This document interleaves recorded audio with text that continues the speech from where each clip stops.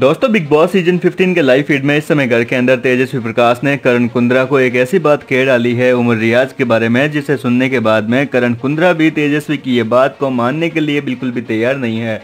और यदि आप भी सुनेंगे तो आप काफ़ी हैरान रह जाएँगे।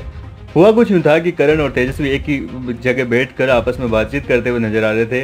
इस दौरान करण ने बातों ही बातों में कहा कि, यार, तुम्हें नहीं लगता कि हमें टास्क के अलावा आजकल कोई बातें बची नहीं है। जब टास्क होता है, तभी हमारे पास बात करने के लिए होती है। इसके अलावा हमारी सारी बातें खत्म हो चुकी है।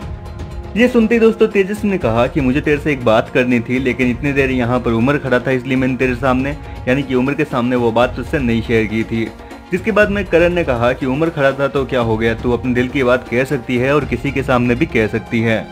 लेकिन दोस्तों, इसके बाद में तेजस्वी ने कहा कि नहीं, उम्र के बारे में ही मुझे बात करनी थी। और क्या तुम्हें नहीं लगता कि उमर रियाज सीज़न 13 की तरह अपने भाई आसिम को फॉलो करता है और वो उसी की तरह गेम खेल रहा है? पहले तो वो अपने साथ एक कंटेस्टेंट के साथ में काफ़ी अच्छी दोस्ती निभा रहा था, लेकिन बाद में वो उसी कंटेस्टेंट की बैंड बजाने के लिए लग गया था।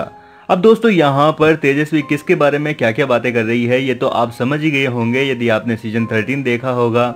लेकिन दोस्तों, करण कुंद्रा ने ये सारी बातें मानने से साफ़ तौर पर इनकार कर दिया और कहा कि नहीं, ऐसा बिल्कुल भी नहीं है, उमर वैसा बिल्कुल नहीं करेगा। उमर कभी भी अपने भाई को फॉलो नहीं करेगा। और वो वैसा इंसान है भी नहीं।